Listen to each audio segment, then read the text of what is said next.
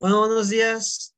Sean bienvenidos y bienvenidas a esta edición 155 del Seminario de los Jueves, el Seminario del Área de Educación Superior del Departamento de Matemática Educativa del CIMBESTAB. Y hoy tenemos el gusto de que está con nosotros el maestro de ciencias Gerardo Cruz Márquez, quien nos estará compartiendo eh, la conferencia Replanteamiento de un estudio sobre los conocimientos del profesor de matemáticas en formación inicial. Eh, y bueno, los saludo, eh, maestro Gerardo. Buenos días, gracias por acompañarnos. Buenos días, gracias a ustedes.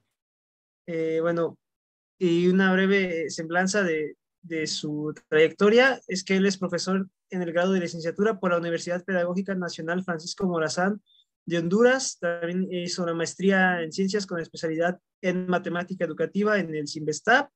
Eh, cuenta con experiencia como profesor de educación secundaria, media superior y superior y ha formado parte de diversos eventos académicos como la RELME, el Congreso Iberoamericano de Educación Matemática.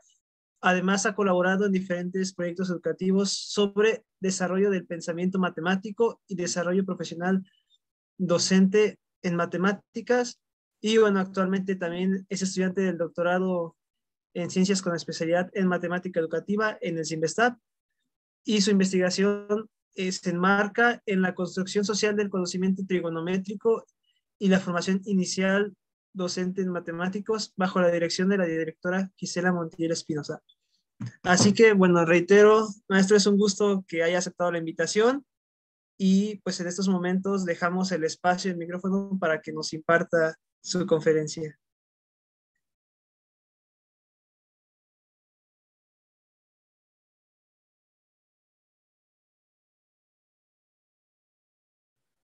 Bien, eh, espero se observe y se me escuche bien. Em, bueno, primero que nada, muchas gracias a la organización por la invitación. Para mí es un gusto presentar en el seminario. No lo hacía hace ya bastantes, bastantes sesiones. Em, y bueno, gracias a los asistentes también, igual que a las personas que siguen la transmisión a través de Facebook. Em, he titulado, como decía Alexis recién, la conferencia como replanteamiento de un estudio sobre los conocimientos del profesor de matemáticas en formación inicial y justamente tiene la intención de narrar las decisiones, algunas de las herramientas y los avances que llevamos hasta el momento en el estudio de doctorado que estoy realizando.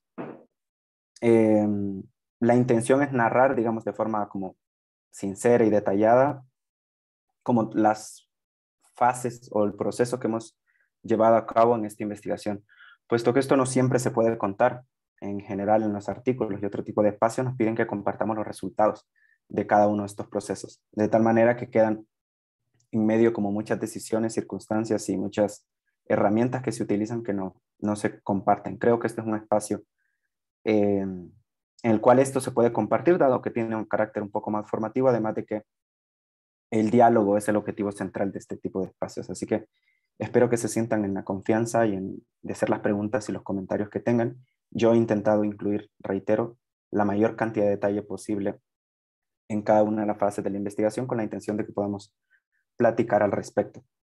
Eh, dividí la presentación en seis grandes partes. Primero voy a hablar de algunas experiencias previas al estudio de doctorado, la revisión bibliográfica que realizamos, el planteamiento de algunos objetivos, las consideraciones teóricas y metodológicas del trabajo, así como la producción y el análisis de datos, que es en la fase en la que nos encontramos actualmente.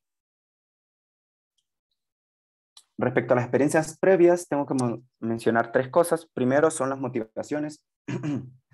Perdón. Y es que, como mencionaba Alexis, eh, soy egresado de la Universidad Pedagógica Francisco Morazán en Honduras. Soy profesor eh, de matemáticas en, las áreas de secundaria y de bachillerato. Y me desempeñé durante un tiempo en ese, en ese espacio y eso, digamos, es un antecedente interesante o importante para decidir estudiar los profesores en formación. También trabajé, tuve la oportunidad de trabajar un par de años formando profesores de matemáticas aquí en México, lo cual también, digamos, me acercó por un lado a la comunidad y segundo reafirmó este interés que yo tenía por trabajar con esta población o realizar un estudio doctoral orientado en esa dirección. Eh, más adelante en el estudio de maestría, realizamos un análisis eh, histórico-epistemológico alrededor de las nociones trigonométricas. Lo que hicimos fue ir a la historia, buscar algunos usos, significados y otros elementos que nos permitieran volver a la actualidad, a la problemática de la enseñanza de la trigonometría, para proponer una situación. Llevamos a cabo, con base en estos elementos que encontramos en la historia, llevamos a cabo una experiencia de problematización eh, de la trigonometría con profesores en formación inicial en la pedagógica, finales de mi trabajo de maestría en el 2017, en el cual nos dimos cuenta que llevar, digamos, esa experiencia de problematización generaba el conflicto, la confrontación y resignificación matemática que nosotros esperábamos. Digamos que hasta ahí era eh, lo que pretendíamos hacer en el estudio de maestría y con eso cerramos. Pero si se fijan, ya íbamos orientados a los profesores en formación inicial, era lo que nos interesaba hacer más adelante. Después de la maestría realizamos algunas experiencias con profesores en formación y profesores en servicio también. los trabajos con y llevamos esta experiencia de problematización, la refinamos, la fuimos ampliando y la llevamos a diferentes espacios de formación inicial. En la fotografía se ilustra uno, por ejemplo, que vamos a cabo en el 2017 en la Universidad Autónoma de Baja California. Eh, y lo trabajamos ese en particular con chicos de cuarto semestre que están de matemáticas y con chicos de sexto semestre que están en la última parte de su formación como profesores de matemáticas, ya están recibiendo su práctica profesional y las últimas clases de didáctica y pedagogía. En esta última población nos dimos cuenta de que los profesores, además de la confrontación matemática que vivían, los profesores en formación también, se empezaban a hacer cuestionamientos de tipo más didáctico o pedagógico. Por ejemplo, se preguntaban, ¿por qué es pertinente o válida esta noción matemática respecto a usar, por ejemplo, el teorema de Pitágoras? También se preguntaban, ¿qué le vas a decir a tus estudiantes cuando te pregunten eso? Porque a veces no tenían respuesta entre ellos mismos de por qué era válida o por qué se podía usar una noción matemática. Y se respondían entre ellos mismos cosas por así. Eso no era hasta el momento el centro de nuestra investigación. Como mencioné, nos estábamos fijando última, eh, inicialmente en cómo esta experiencia de problematización generaba una confrontación y resignificación matemática en los profesores, pero nos dimos cuenta que estas preguntas didáctico-pedagógicas iban apareciendo.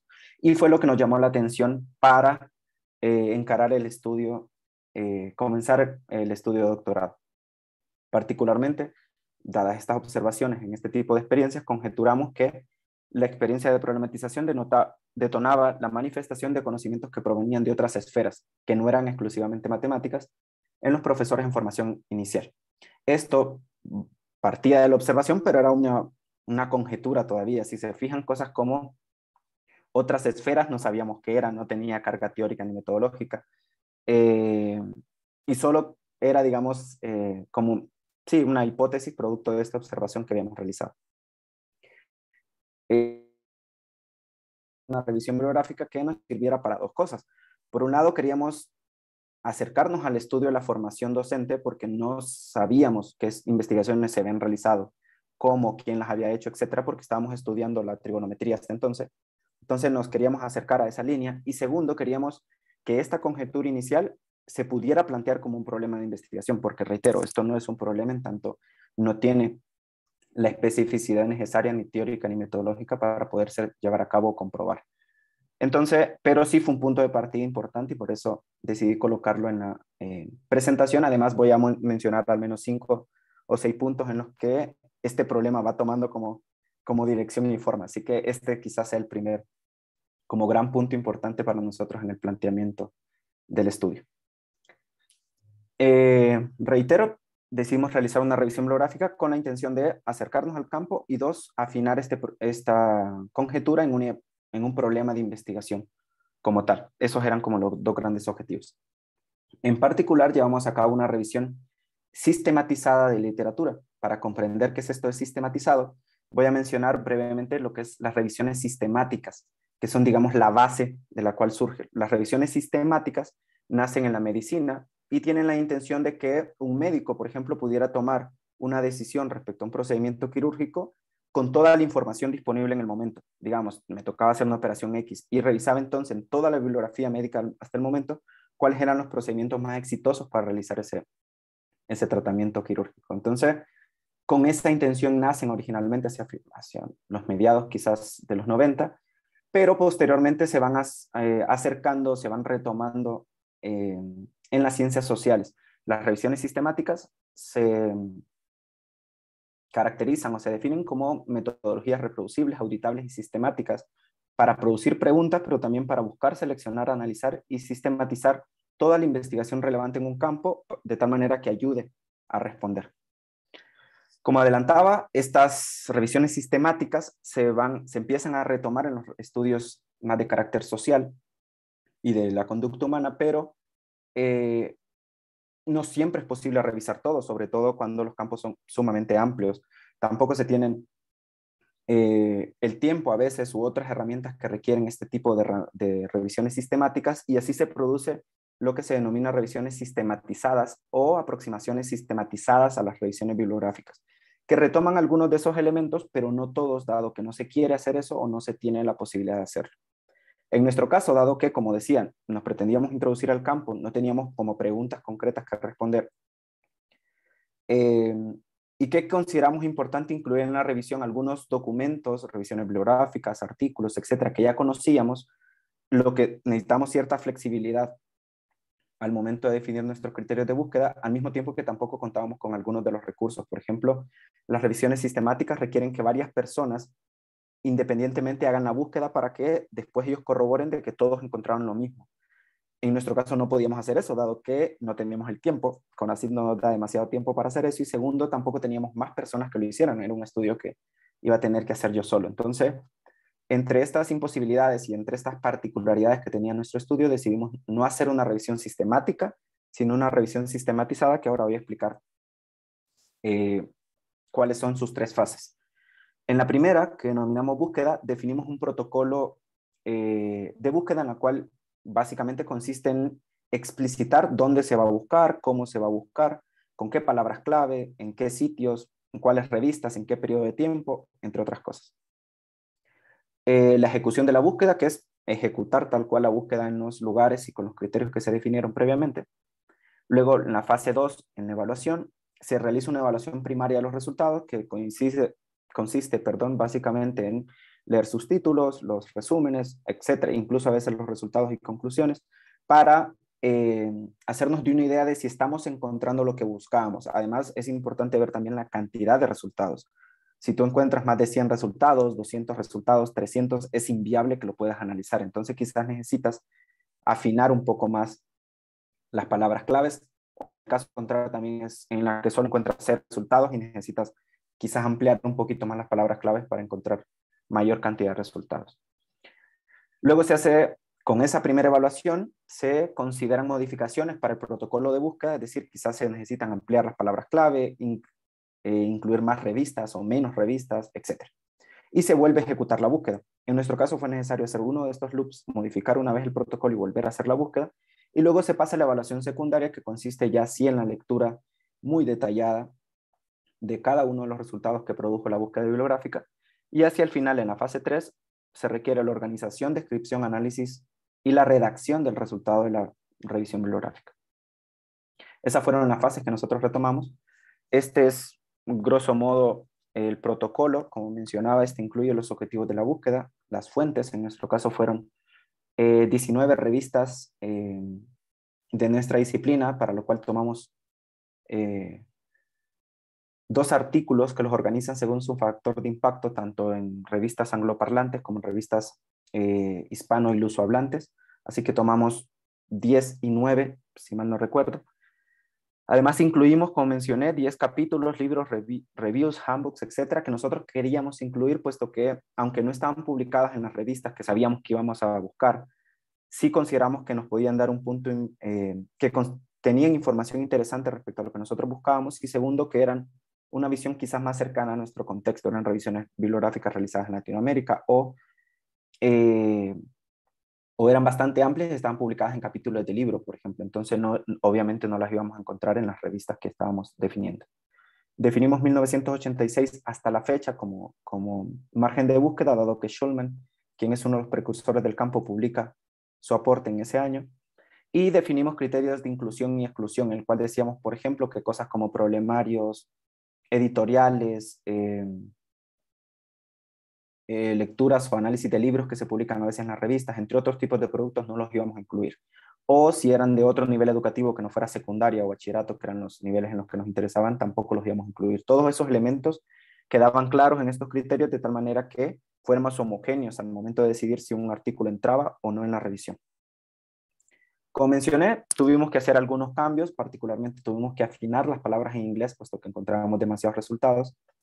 Además, tuvimos, en la, previo a la segunda vuelta de búsqueda, que definir algunos procesos particulares para la búsqueda. Por ejemplo, nos dimos cuenta de que algunas revistas no dejaban colocar todos los caracteres que nosotros queríamos. Entonces tuvimos que definir un, como caso específico cómo íbamos a hacer en esos casos. O las revistas tenían una nueva página web y habían dejado sus archivos en la anterior y tenían otras en los nuevos. Entonces teníamos que eh, repensar esos casos y definir un protocolo específico, digamos, para esos casos en particular. Luego de eh, haber realizado esta, la ejecución de la búsqueda, reitero, hicimos una modificación del protocolo, lo volvimos a aplicar, resultados que queríamos, encontramos 59 resultados y cada uno de estos realizamos una, en la evaluación secundaria una eh, evaluación como súper detallada. Era una lectura comprensiva, incluso a veces más de una lectura comprensiva de cada uno de ellos, al mismo tiempo que fuimos construyendo fichas individuales de cada uno. Estas fichas tenían tres elementos que intenté eh, mostrar brevemente en la diapositiva. Por un lado, tenían una parte de datos generales en la que se especificaba el tipo, el tono, del artículo que estábamos eh, revisando, o capítulo de libro, o handbook, porque lo mismo se hizo para los 59 resultados, hizo para los otros 10 elementos que debemos incluir. Luego se eh, mencionaban algunos elementos principales de cada uno de los estudios, por ejemplo, el objeto del estudio, la teoría, el, el método y los resultados principales que encontraban. Obviamente, esos estaban matizados también por nuestros intereses. Y hacia el final teníamos una caja grande en la que incluíamos la descripción de algunas secciones o a veces extractos específicos con una cita o una página en particular. O incluso algunas notas o comentarios que nosotros realizábamos que nos llamaban la atención en el momento que íbamos eh, realizando cada una de las revisiones. Para cada una de las 59 eh, de los 59 artículos que encontramos en la búsqueda, así como para cada una de las 10 otras fuentes que teníamos, que eran capítulos de libros, handbooks, reviews, etc. Eh, después de esta, de esta revisión a detalle, eh, reducimos nuestros resultados a 48, eh, es decir, algunos no encontramos que tenían elementos muy trascendentales o muy importantes para los objetivos de nuestra revisión, así que los descartamos. Y luego empezamos a categorizar, por ejemplo, dividimos los estudios específicos en trigonometría, de los cuales solo encontramos tres, ese número va a ser importante. Habían estudios específicos en geometría, de los que encontramos 23, que eran trabajos particulares que versaban sobre los conocimientos del profesor de matemáticas, pero en el área de geometría. Había formaba el profesor en Latinoamérica, quién lo formaba, etcétera. Hablaba sobre los sistemas y su historia. Eh, incluimos que estudiaban los conocimientos del profesor de matemáticas, pero lo hacían eh, con otra población, quizás a la que nosotros nos interesaba, pero nos era útil quizás para ver la metodología, o ver la teoría de cómo se hacían ese tipo de estudios. Y identificamos seis estudios periféricos temáticos que hablaban sobre los conocimientos en trigonometría de, los de una población universitaria o de profesores a veces, em, pero no se centraban a veces en, su conocimiento, en sus conocimientos eh, didácticos, pedagógicos, lo que fuera, sino solo hablaban acerca de eh, los conocimientos trigonométricos de profesores universitarios, pero que igual podrían informar algunos fenómenos que se suelen dar en esa área de formación. Entonces, eh, reitero, quizá el dato más importante es que reducimos la cantidad de resultados a 48 después de la búsqueda, y este número 3, que son los estudios específicos en trigonometría del profesor de matemáticas en formación inicial, va a ser importante. Luego de eso hicimos algunas tablas descriptivas. Este es un segundo, digamos, punto importante de nuestra revisión dado que esto quizás no es lo que más nos importaba, si no nos interesaba ver qué se había dicho en la investigación, pero decidimos hacer unas tablas que sintetizaran algunas de las características de los estudios que encontramos, de estos 48 eh, estudios. Por ejemplo, en qué idioma estaban escritas, el tipo de investigación, tanto empírica, teórica o cualitativa, cuantitativa o mixta, la población con la que trabajaban, si eran solo con profesor en formación inicial o también con profesores en formación continua, la cantidad de participantes si los declaraban de 1 a 25, de 26 a 50, más de 50 o si no era explícito, el año en el que se había publicado y el tipo de estudio, si era interno, externo o no era explícito. Interno refería que las mismas instituciones o profesores realizan estudios al interior de su curso o de su universidad. Por ejemplo, las universidades suelen probar, hacer estudios para probar la eficiencia de un plan, de un nuevo plan y programa. A eso le referíamos como interno. O un profesor realiza al interior con sus propios estudiantes un estudio y lo reportaba. A eso le llamamos interno. Y externo cuando es otra institución o otro grupo de investigadores que hacían el estudio eh, en una universidad o institución formadora de profesores. Sintetizando lo que encontramos aquí, eh, puedo mencionar que nos, bueno, esto decía que esto era un segundo gran punto de interés para, o de inflexión del trabajo, porque si bien no era el tipo de resultados que andábamos buscando de partida, nos ayudó a darnos una sensación general del campo. Un poco aprendimos a quién investiga el profesor, cómo se hace, etc. Perdón. Por ejemplo, nos dimos cuenta que la mayor cantidad de investigaciones, casi todas, son investigaciones empíricas y cualitativas. Además, son investigaciones de tipo interno, que como mencioné, refieren a eh, investigaciones que se llevan a cabo por el mismo profesor o por la misma institución al interior de la misma. Eh, en las investigaciones, en gran parte de las investigaciones en las que el profesor llevadas a cabo con profesores en formación inicial, el profesor es un estudiante, un alumno de universidad casi cualquiera. No se estudia específicamente qué características tiene en particular por ser un profesor en formación, no un estudiante universitario, como si fuera de una ingeniería o de alguna otra área universitaria de educación superior, mejor dicho. Eh, las investigaciones en general se llevan a cabo con muestras pequeñas. Esto tiene sentido con que sean investigaciones internas, puesto que, como decía, el profesor las suele realizar con su grupo o a lo sumo con dos grupos. En ese sentido, casi todas tenían, todas las que declaraban casi tenían menos de 50 estudiantes. Y eso era un caso que nos llamó la atención.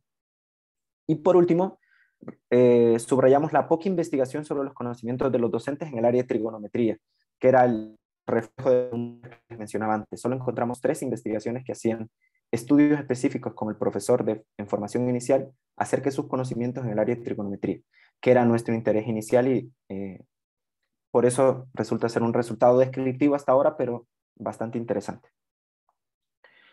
Luego de este eh, segundo punto de inflexión en el cual empezamos a tomar como conciencia del campo de quién, cómo y cuánto se investiga el profesor, eh, empezamos a realizar fichas conjuntas de las investigaciones que hemos hecho. Para esto tomamos las fichas que ya teníamos y empezamos a organizarlas eh, según grandes categorías o subcategorías de información. Si se fijan aquí, por ejemplo, puse un par de, de imágenes, ya hay citas, notas mezcladas, extractos y notas mezcladas de un estudio, de otro estudio, etcétera, porque se fueron organizando según de lo que hablaban. Si hablaban de los conocimientos del profesor, si hablaban de la formación docente como campo eh, profesional, cuándo se empezó a formar profesores, cómo se formaban los profesores en 1980, todos esos iban en un campo, todos los que hablaban acerca de la investigación, quién comenzó a investigar acerca del profesor en formación inicial, cómo se empezó a investigar, iban en otro grupo. Y así fuimos organizando grupos sin perder de vista cuáles eran nuestros objetivos, que reitero eran hacernos de una visión general del campo y dos, ayudar a que nuestra conjetura inicial se volviera un problema de investigación susceptible de ser analizado o de ser investigado y valioso de ser investigado al mismo tiempo. Eh, al final, producimos cuatro categorías de información, con cada una con dos subcategorías. Las primeras tres nos daban una, esta visión panorámica del campo y la última nos ayudaba a eh, delimitar algunos elementos específicos acerca de los conocimientos del profesor en geometría y trigonometría que ayudarían a concretar nuestro problema de investigación. No voy a entrar en detalle respecto a cada uno porque no terminaríamos hoy, pero eh, hay algunos que nos llamaron la atención, como por ejemplo que la formación en Latinoamérica de profesores de matemáticas comenzó de forma como muy homogénea con el movimiento de las normales, pero que actualmente es sumamente diversa. Las normales siguen formando profesores en algunos países. Hay algunos que tienen como una versión mixta en la que las normales y las universidades lo hacen, pero el 70% de los programas de formación docente a nivel secundario y bachillerato en América Latina está a cargo de universidades o de instituciones ya de educación superior. Eh, otro resultado que quizá fue eh, interesante fue el auge que notamos en la investigación en estos temas. Eh, hacia los últimos años cada vez se investiga más o se publica más resultados de investigación acerca de la formación inicial docente, Hay revistas y congresos exclusivos dedicados a discutir acerca de estos temas y los congresos más longevos ya incluyen un Topic Study Group o una sección de su congreso que se dedica a discutir sobre eso. Entonces, estos fueron algunos de los elementos, digamos, que notamos y que nos llamaron la atención. Pero para efectos de la presentación solo voy a mostrar eh, tres elementos de la revisión bibliográfica que fueron como resultados importantes y apuntan hacia la originalidad y a la pertinencia eh, de, nuestra, de nuestro problema de investigación. En ese sentido nos ayudan como a afinar. Este es como el tercer punto de inflexión. ¿Cómo definimos ya nuestro problema o cómo lo llevamos a un problema que, reitero, sea original y valga la pena investigar, produzca resultados que ayuden al campo y a la disciplina a avanzar? Un primer resultado de estos tres refiere a la viabilidad de nuestra conjetura y, nos, y, significa que encontrar los resultados o investigaciones, otros estudios que hacían conjeturas similares u observaciones similares a las que nosotros hicimos en nuestra experiencia. Por ejemplo, el trabajo de Seskis y Leikin trabajan con 40 eh, profesores en formación inicial. bueno, nos ponen a trabajar en dos actividades en particular. Primero, que generen una definición matemáticamente concreta de lo que ellos consideren eh, un cuadrado. Y luego les piden que de una lista de 23 definiciones que ellos les proporcionan, algunas de las cuales se han tomado de la primera actividad, que decidan cuál es la, eh, matemáticamente, digamos, cuál es la válida, cuáles son válidas y cuáles no. Esa es como la actividad. Si se fijan, tiene carácter matemático la actividad. Les piden que definan un cuadrado y que en una lista una de las observaciones más interesantes que lleva a cabo el estudio es que los profesores empiezan a discutir sobre una figura, dado que sus estudiantes valorarían mucho que hubiera una figura en una definición, o tendría mucho potencial pedagógico el que hubiera una figura, o si se deben incluir más o menos elementos técnicos o lenguaje matemático en una definición, dado que puede complicar el entendimiento de esa definición para un estudiante. En pocas palabras, Saskis y Lakins dicen que aunque la pregunta presentada a los profesores en formación inicial fue ¿qué ejemplos de la lista son definiciones válidas de un cuadrado? Muchos participantes en sus argumentos reformularon implícitamente la pregunta a ¿cuál de las siguientes definiciones utilizaría con mis alumnos? Esto coincide mucho con las eh, experiencias previas que tuvimos en las que, como mencioné, nosotros llevábamos una situación matemática que pretendía confrontar sus conocimientos en trigonometría, una discusión acerca de qué harían como profesores cuando les toca enseñar este tema. Entonces, eh, este fue quizá un primer resultado importante que obtuvimos en esta revisión bibliográfica, ya de carácter más analítico. Un segundo resultado que fue sumamente importante respecto a la originalidad del estudio, y es que, como mencioné, solo encontramos tres investigaciones que versaban sobre los conocimientos del profesor de matemáticas en formación inicial en el área de trigonometría.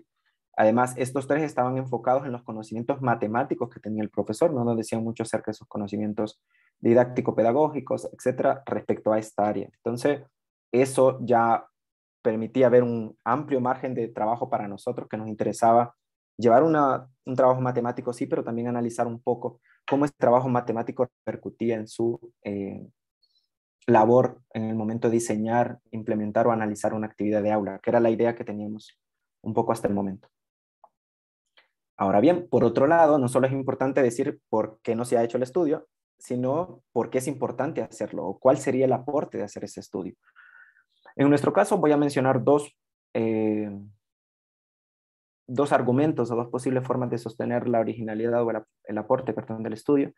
El primero, que quizás un poco más centrado a la, a la práctica de formar profesores de matemáticas, tiene que ver con una Mm, separación que los, la literatura identifica, en particular el trabajo de Hertz eh, y colaboradores en el 2017, menciona que está desalineada la formación que reciben los profesores con los conocimientos que el profesor requiere en la práctica. Eh, otras de las investigaciones que hemos leído, en particular una que retomamos en el marco teórico, dice que es importante entonces estudiar cuáles son estos conocimientos que el profesor requiere para llevar esos conocimientos a la formación o acercar esos conocimientos a la formación, de tal manera que el profesor sienta que la formación que recibe en la, en la, universidad o en la institución superior en la que cursa le es útil para la práctica como profesor en áreas específicas como geometría y trigonometría. Entonces, esta, eh, estudiar al profesor en la práctica, los conocimientos que el profesor tiene en la práctica nos puede ser útil en este sentido para después generar propuestas de formación de profesores más cercanas a, a, los conocimientos que el profesor requiere en la práctica. Entonces, esta es una primera justificación de para qué nos serviría hacer este tipo de estudios. Una segunda justificación que quizás es más cercana a la investigación eh, en el campo de la formación inicial es eh, algo que mencionan Adler y colaboradores en el 2005 en su revisión bibliográfica y refiere a que hay una gran emergencia de grandes marcos teóricos actualmente dedicados a describir el conocimiento del profesor de matemáticas.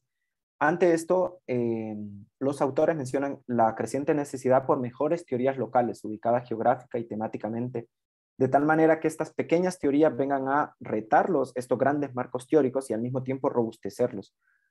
Eh, esta, este tipo de estudios que nosotros pretendemos hacer, entonces que está ubicado temáticamente, específicamente en el área de trigonometría, con una población particular de profesores en formación inicial, podría, al describir los conocimientos de esos profesores en ese contexto tan específico, empezar a retar o a robustecer estos grandes marcos teóricos que Adler y colaboradores mencionan. Esas serían, digamos, dos formas distintas de sostener para qué nos va a servir. Reitero, la primera eh, como una herramienta para modificar la formación del profesor, en, eh, del profesor en formación inicial, es más cercana a la práctica, y esta otra es quizás más cercana a la investigación o al campo de la formación inicial, en tanto permite eh, que el resultado de la investigación sea útil para robustecer los aparatos teóricos que tenemos para estudiar los conocimientos del profesor actualmente.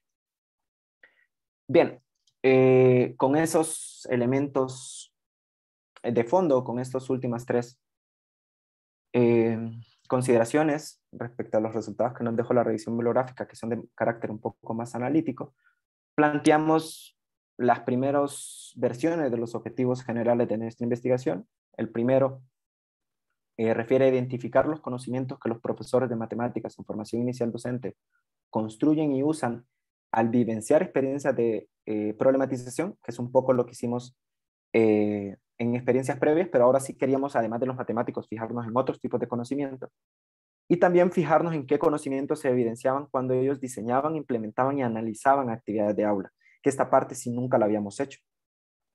En un objetivo número dos nos proponemos describir el rol que con relación a los demás conocimientos juegan estas experiencias de problematización, que era un poco lo que decía. Llevamos a cabo la experiencia de problematización y queremos ver cómo esta afecta la toma de decisiones cuando los profesores diseñan, implementan y analizan sus propias experiencias de aula. Esos eran los dos objetivos generales. Ahora fíjense que, por ejemplo, conocimientos de los profesores no tiene una carga teórica aún, no sabemos qué es un conocimiento del profesor o qué le estamos llamando conocimiento del profesor. Tampoco teníamos una, en esta versión del problema, tampoco teníamos una carga metodológica para eso. O sea, no sabíamos, no los habíamos caracterizado específicamente y segundo sabíamos cómo verlos en, un estudio empírico. Esto se resolvería cuando tomemos postura respecto a eh, los conocimientos del profesor en esta sección de eh, consideraciones teóricas. Por un lado, mantenemos eh, la visión teórica que nos da la teoría socioepistemológica respecto a los conocimientos o los saberes matemáticos, puesto que era lo que trabajamos en la maestría. Y segundo, es de dónde se propone esta experiencia de problematización que habíamos construido. Entonces, como saben, esta postura parte de reconocer que la construcción y significación de las nociones y procedimientos matemáticos se centra en su uso situado. Eh, y para eso eh, se basa o se para en cuatro principios.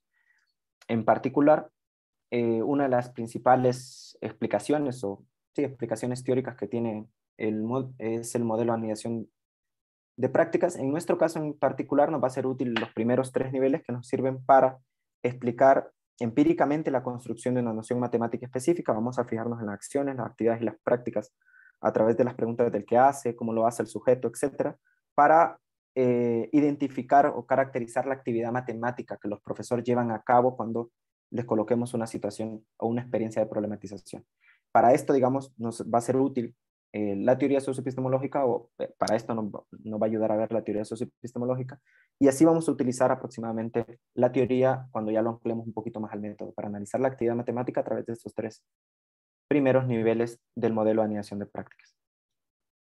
Este es más novedoso, quizás, bueno, para menos para nosotros lo fue, y es que, como mencioné, no teníamos todavía una visión acerca de los conocimientos del profesor. Y entre la revisión que eh, habíamos realizado y otras experiencias que habíamos llevado a cabo en el grupo, nos habíamos acercado a la postura de Ruth Mercado acerca de los saberes docentes, la cual se eh, fundamenta en la visión de saber cotidiano de, de Heller, en los cuales se denomina el conocimiento, a los, a los saberes se les denomina como el conocimiento sobre la realidad que utilizamos de modo más efectivo en la vida cotidiana eh, ¿Qué son guías para las acciones y los temas de conversación. Esta descripción, digamos, es bastante útil para nosotros, puesto que sitúa a los saberes bastante cercanos a la práctica. Son estos elementos que el profesor considera para tomar sus decisiones y para dialogar acerca de su práctica.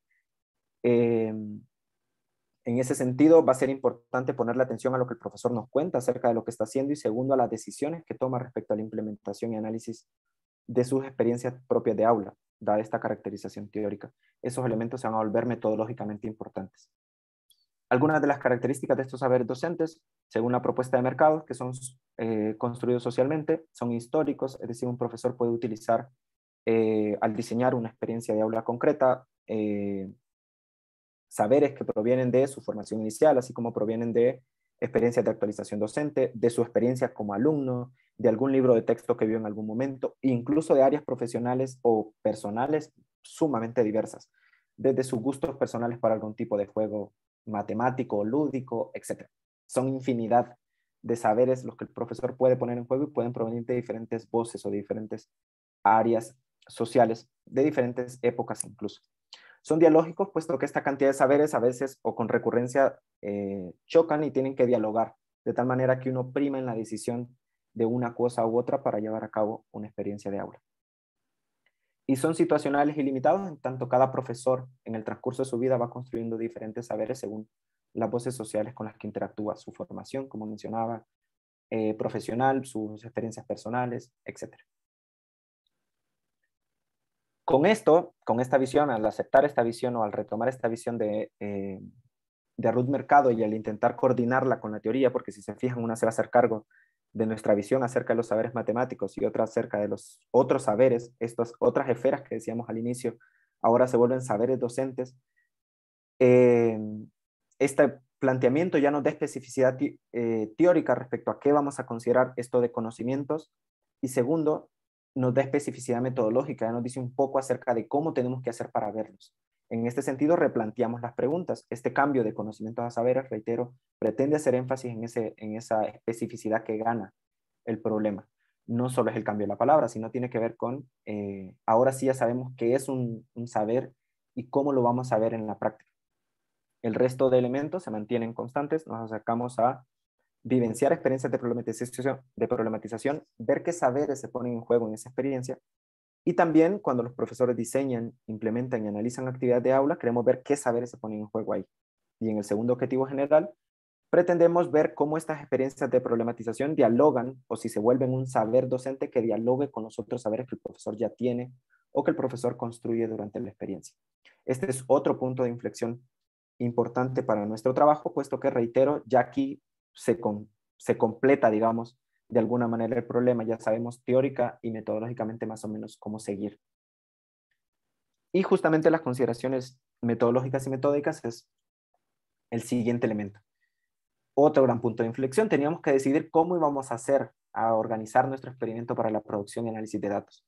En particular, eh, era importante de partida considerar que la propuesta original de Ruth Mercado respecto a los saberes docentes tenía un carácter, un carácter etnográfico, Pretendía ir a ver al profesor en su práctica y ahí analizar cuáles eran los saberes que ponía en juego, cómo dialogaban, etc. En nuestro caso, dado que queríamos llevar una experiencia de problematización, solo ir a ver a los profesores en su trabajo no nos era útil porque nosotros queríamos introducir un elemento y ver cómo ese se podía constituir o no en un saber docente. Entonces decidimos utilizar una eh, investigación basada en el diseño, particularmente los denominados experimentos de desarrollo del profesor, que funcionan lo voy a explicar muy grosso modo, con dos procedimientos. Por un lado, el grupo de investigación tiene que promover un desarrollo en los conocimientos del profesor, es decir, uno construye una situación que pretende que los eh, profesores en formación inicial construyan cierto conocimiento Y segundo, en la segunda fase se pretende analizar ese desarrollo. Si no se genera un desarrollo del conocimiento del profesor, no va a haber análisis que hacer en la segunda fase. Entonces, de esa manera más o menos funcionan estos experimentos de desarrollo del profesor.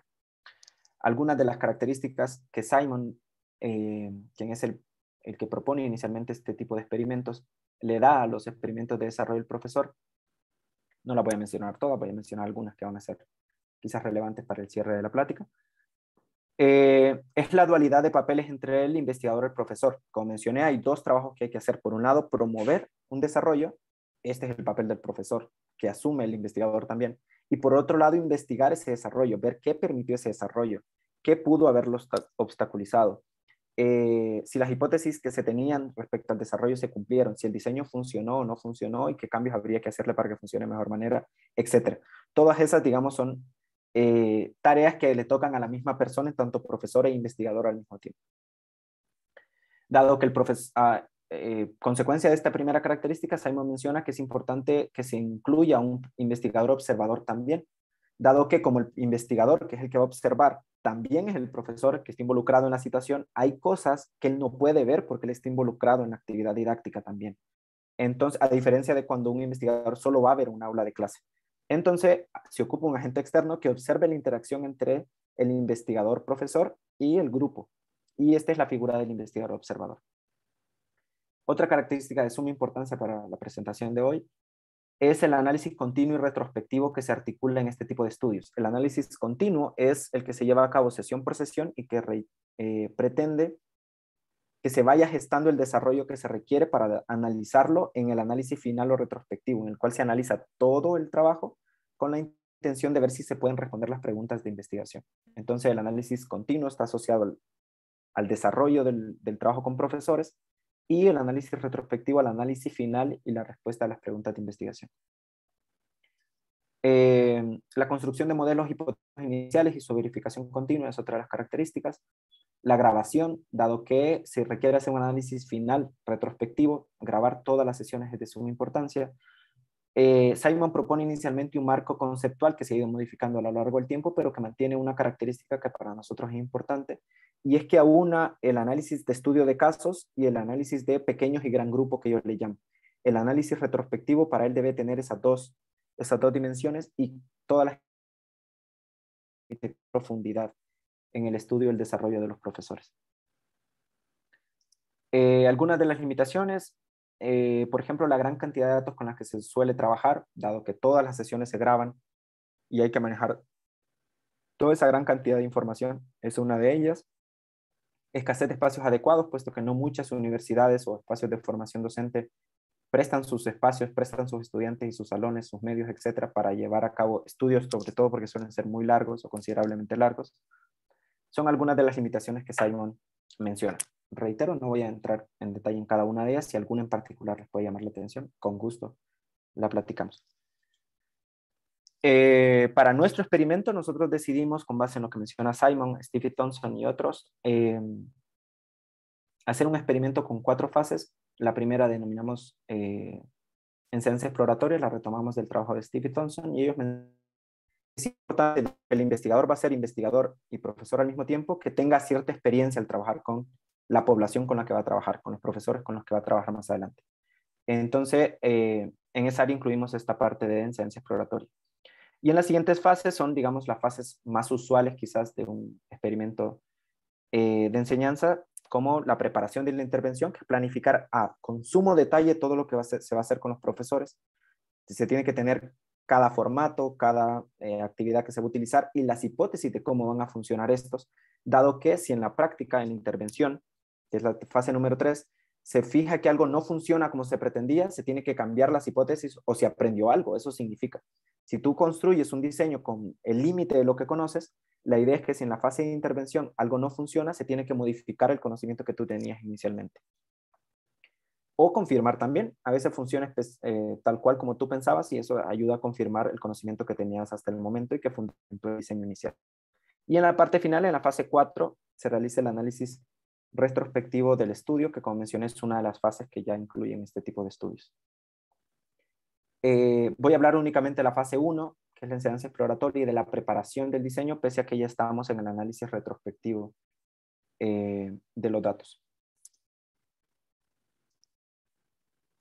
La producción análisis va a ser la última sección ya del trabajo. Reitero, voy a hablar de la fase 1 y 2. La primera es experiencias exploratorias y la segunda acerca del diseño de, el trabajo con los profesores. En la enseñanza exploratoria incluimos dos tipos de experiencias. Una es relativa a las experiencias de problematización que ya hemos llevado a cabo con los profesores eh, de trigonometría en, formación inicial o en servicio. Y las segundas, algunas eh, experiencias previas que tenemos con profesores cuando diseñan, implementan y analizan sus propias actividades de aula. Eh, estas actividades o estas experiencias no siempre fueron analizadas desde algún marco teórico, o peor aún desde los marcos teóricos de, que lo vamos a hacer ahora, pero sí reconocemos que nos han dejado ciertos conocimientos experienciales de cómo trabajar con estas poblaciones, cómo llevar a cabo este tipo de actividades, eh, así como algunos productos que retomamos respecto al diseño. Por ejemplo, algunas fases del diseño están fundamentadas en las vivencias que teníamos previas, las comentaré más adelante. Respecto a la preparación de la intervención, que reitero, es este eh, diseño detallado que se tiene que hacer con, de lo que se va a llevar a cabo con los profesores, dado que tiene que estar en el límite de lo que conoces, de tal manera que si algo pasa que no em, esperabas, sepas que hay algo que aprender o algo que mejorar. O si algo pasa y era fundamental o crucial en el estudio, sepas que em, em, estabas en lo correcto de alguna manera y que comprendas un poco más de por qué se dio de esa manera en el término del experimento. Así que voy a hablar de cinco grandes, partes de esta preparación que vamos a cabo. La primera es acerca de los participantes y el contexto institucional y es que decidimos trabajar eh, con estudiantes de la Universidad Autónoma de Baja California, estudiantes profesores en formación inicial que cursan el quinto, sexto y séptimo, séptimo y octavo semestre. Fueron invitados todos esos periodos académicos. La idea era que eh, participaran de forma voluntaria en este tipo de estudios que iba a durar todo un semestre académico y que se iba a, optar, se iba a proponer como un curso optativo, pero con valor curricular para ellos.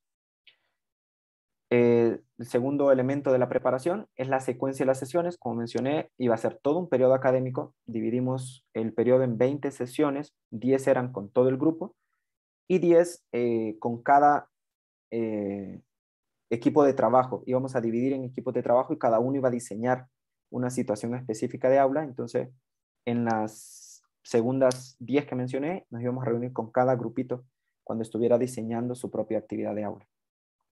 Íbamos a pasar durante esas 20 sesiones, durante cuatro etapas. La primera es una introducción y problematización, en la cual íbamos a llevar esta experiencia de problematización de la trigonometría escolar con ellos. Luego una preparación en la que vemos un trasfondo un poco teórico-metodológico. La tercera ya construyen una trayectoria hipotética de aprendizaje. Y por último, una clase en la cual planifican, implementan y analizan su propia clase con eh, un grupo particular. Todas estas sesiones fueron sincrónicas y fueron en línea de las condiciones en las que nos encontramos actualmente.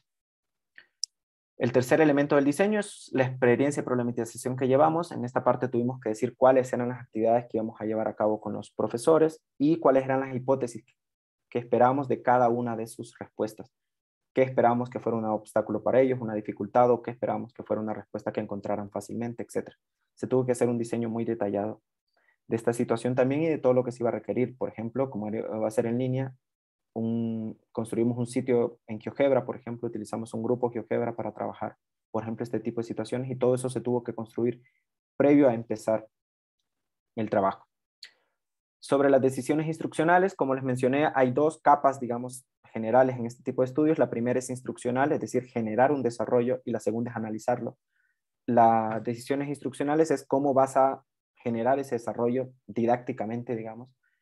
Eh, mencionamos ahí una, como una estrategia de trabajo que hemos tenido en los últimos años cuando trabajamos con profesores en formación o en servicio, que consta de seis momentos que van desde el trabajo individual, el trabajo en equipo de cada uno de ellos en las actividades matemáticas, una plenaria respecto a cada una de las actividades, una discusión matemática final respecto al conjunto de actividades, es decir, toda la experiencia de problematización, un momento de transparentación en el que se les cuenta por qué se hizo esa actividad, cuál es la intención, cuáles son los elementos de investigación que hay de fondo, y una discusión didáctico-pedagógica en la que los profesores reflexionan cómo se podría llevar esto al aula o qué de esto se puede llevar al aula de, a sus aulas de clase, etc. Esto fue un poco el cómo trabajamos esta situación eh, más instruccional con los chicos. Sobre las decisiones de investigación, que reitero, ya sería el segundo nivel, va a ser el nivel que nos va a ayudar a responder las eh, preguntas de investigación o los objetivos de investigación que nos planteamos. Decidimos incluir ocho registros de información de todo el experimento de desarrollo del profesor que estamos llevando a cabo, que incluyen una encuesta inicial, grabación de video, grupo de GeoGebra, notas de investigador-profesor, notas del investigador-observador, los productos del curso, es decir, las tareas y avances que los chicos van realizando, y las entrevistas. Para todo esto diseñamos, intenté mostrar algunos de los elementos. Eh, por ejemplo, para la encuesta decidimos cada una de las preguntas y la justificación de por qué estaba ahí, para qué nos iba a ser útil, así como formatos para las notas del investigador observador, formatos para eh, las notas del investigador profesor, eh, la situación de aprendizaje se tenía, la situación, sí, la situación eh, o la experiencia de problematización se tenía que detallar actividad por actividad y las expectativas que teníamos de cada una de ellas, etcétera. Todo se tenía que diseñar con sumo detalle, con la intención de que en la observación, en, en la práctica empírica, pudiéramos ver qué se corrobora y qué no, como mencioné anteriormente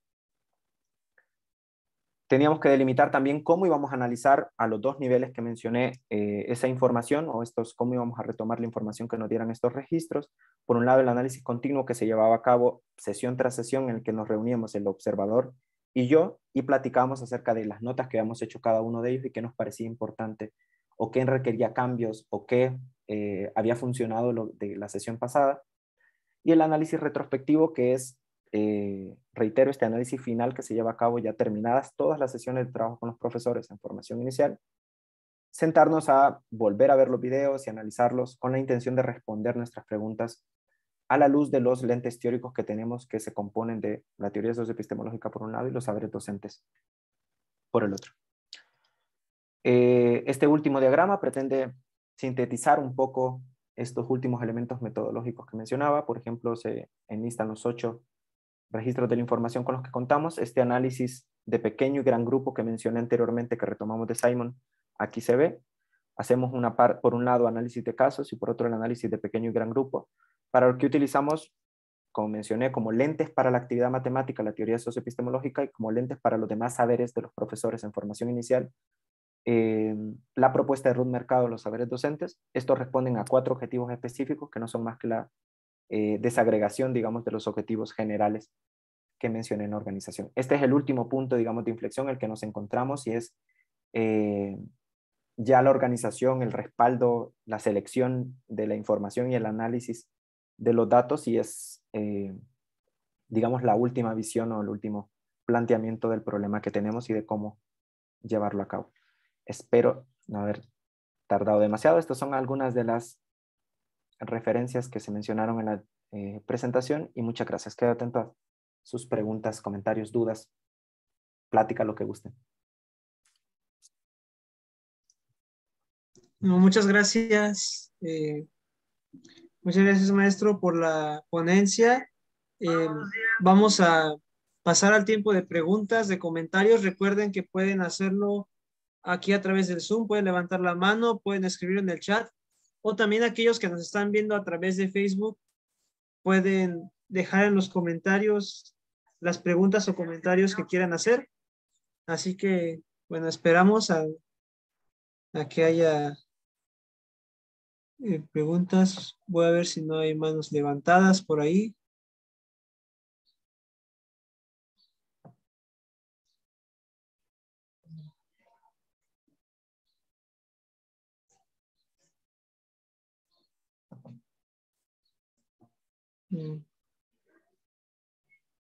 ¿Hay alguien aquí de la sesión que quiera hacer alguna pregunta, algún comentario?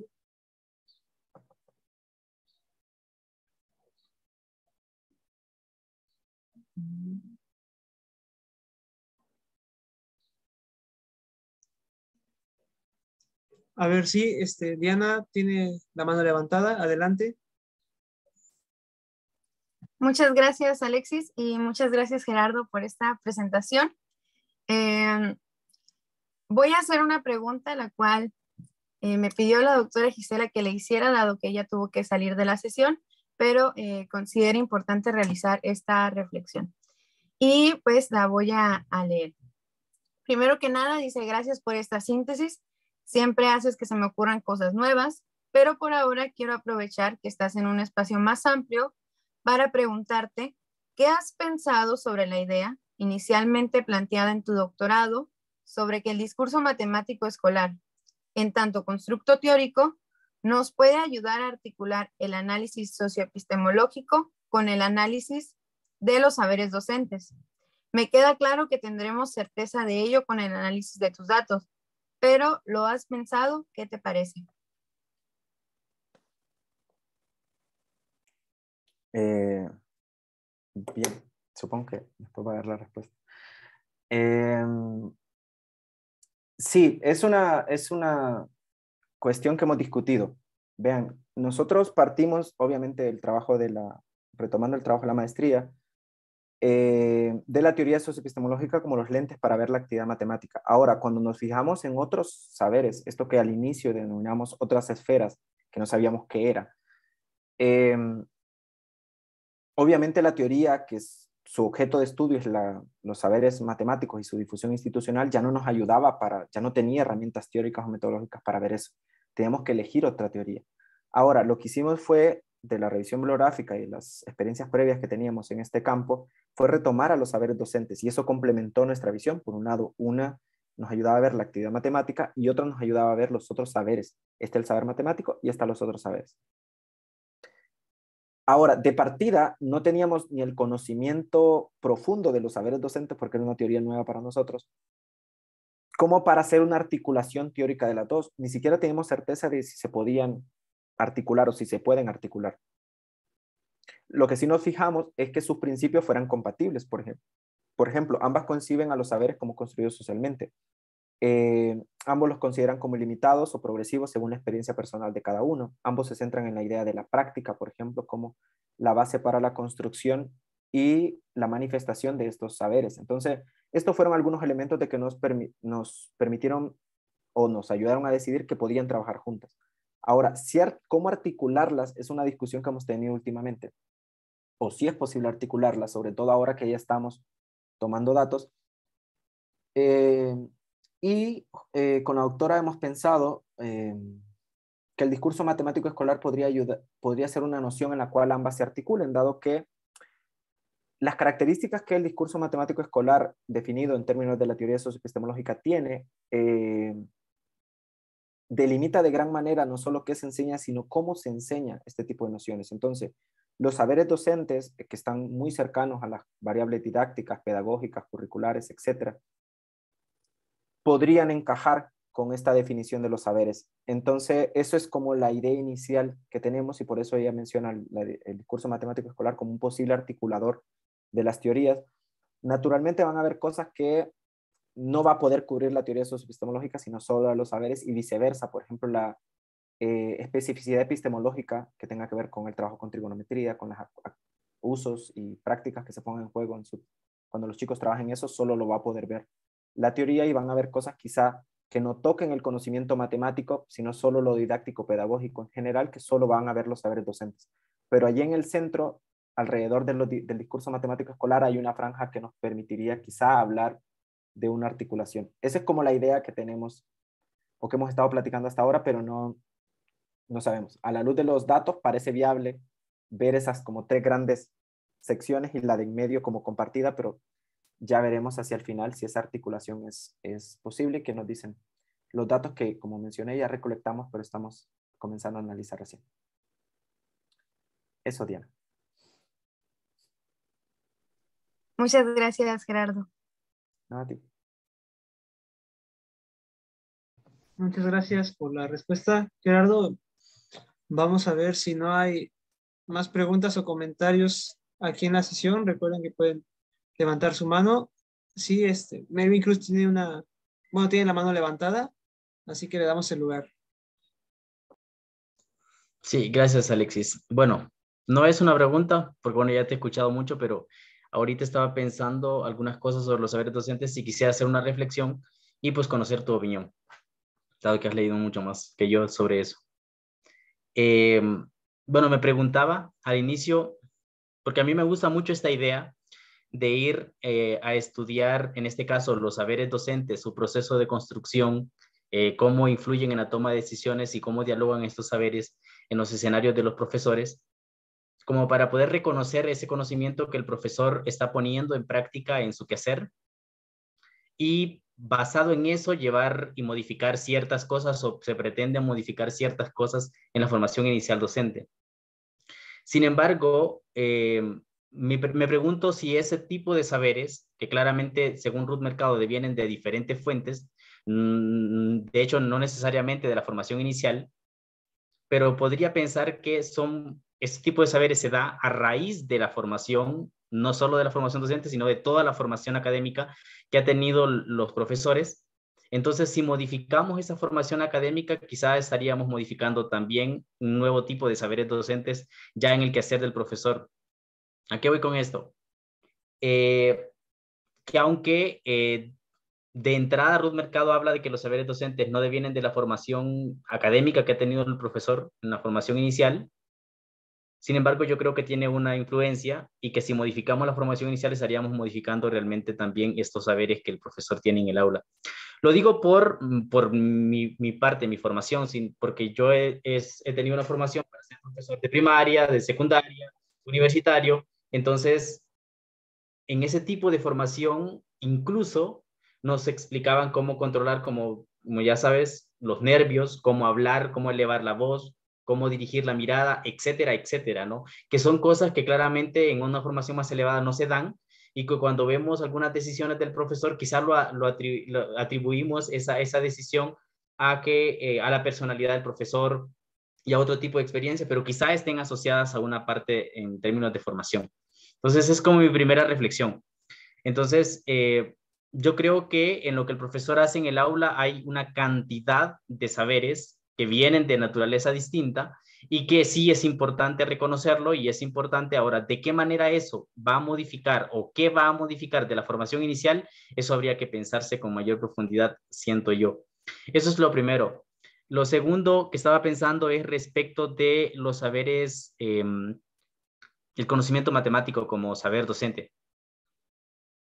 Eh, claramente en el trabajo de Ruth Mercado no lo incluye porque no, es, no está centrado en un tipo de saber en particular, sino de manera general, y por eso casi siempre que hablo de los saberes de Ruth Mercado le atribuyo la característica de como de didácticos o más experienciales que asociados a una disciplina en particular. Sin embargo, en este contexto de la formación inicial, el conocimiento matemático sería un, un saber docente, o por lo menos así lo vería yo, ¿no? Porque influye en la otra, las otras decisiones que el profesor pueda tomar a raíz de eh, algo didáctico, influye en esas decisiones didácticas que el profesor pueda tomar, dada la naturaleza del conocimiento que va a atender. Ahora, dado nuestro interés, hacemos un foco particular del conocimiento o del saber matemático, atendiéndolo en este caso o eh, explicándolo desde la teoría socioepistemológica le damos ese, esa, esa, particularidad y esa importancia, ¿no? Dado la disciplina en la cual estamos. Eh, sin embargo, pensaba, por ejemplo, que si el conocimiento matemático como saber matemático del profesor juega un papel tan importante en nuestra disciplina, los demás saberes podríamos quizá categorizarlos, pensándolos así, yo sé que el mercado no hace eso, categorizarlos en términos de eh, saberes asociados quizá a la experimentación, a la toma de decisiones mucho más didáctica o al uso de instrumentos o materiales didácticos, etcétera, ¿no? Como a ciertas categorías mucho más genéricas, quizá como para poder describir estas categorías y darle una mayor profundidad, sentiría yo, pero es como una idea que se me acaba, me acaba de ocurrir referente a eso, pero ya no sé qué, qué puedes pensar al respecto. Eh, bien, gracias Melvin por, la reflexión. Respecto a lo primero, eh, la sensación que tengo después de la revisión bibliográfica, como mencioné, esta idea de la separación que hay entre los conocimientos que el profesor requiere en su práctica o pone en juego en su práctica versus la que le proporciona la formación inicial, no solo la reporta Ruth, la mencionan bastantes investigaciones, Ahora, lo que reconocen estos estudios, y también Ruth lo hace, es que lo que el profesor pone en, juego en su práctica no solo proviene de su formación inicial y continua, sino que reconoce que proviene de muchísimas voces que van desde la experiencia personal, desde otros trabajos que tiene o ha tenido, N cantidad de situaciones, incluso desde su formación estudiantil, que también es algo que se reconoce en la investigación más en general.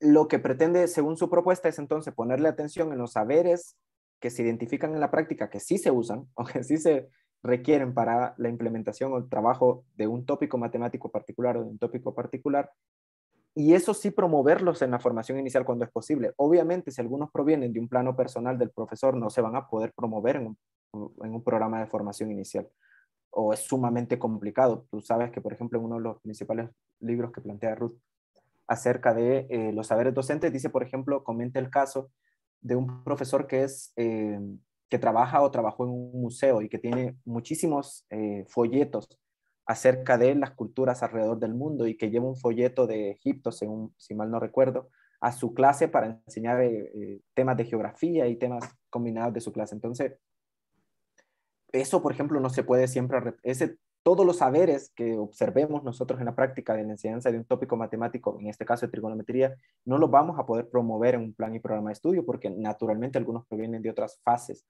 otras, eh, otras voces sociales que no incluyen la formación inicial. Entonces, la idea es que los que sí se puedan sean más cercanos, porque se reconoce que los que estamos dando actualmente no le están siempre sirviendo al profesor.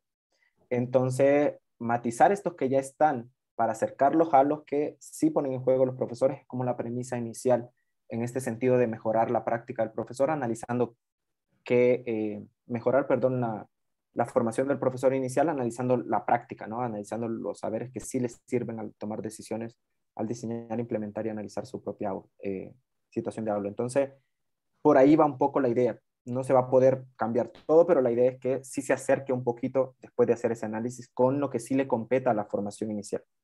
Por ahí va, creo, un poco la idea que plantea Rudy. Reitero, no solo ella, sino trabajos como lo de Herbst lo discuten mucho respecto a geometría y sé que algunos otros lo harán respecto a otros temas. Eh, con relación a lo segundo que mencionabas, esto de categorizarlos, mm, creo que Ruth lo hace de alguna manera en tanto habla de voces sociales y reconoce que, por ejemplo, bueno, que hay diferentes voces de las que provienen diferentes saberes y que se manifiestan en más o menos algunas circunstancias. Ahora, dado que se reconoce que son ilimitados, no, quizás no nos sea eh, o sea, no, vamos a poder construir como una malla, ¿sabes? Eh, o como estas grandes categorizaciones estáticas del saber del profesor, puesto que si nos movemos a otro espacio, vamos a encontrar una malla completamente distinta. Van a haber saberes que para un, profesor incluso son fundamentales, que para otro no lo son.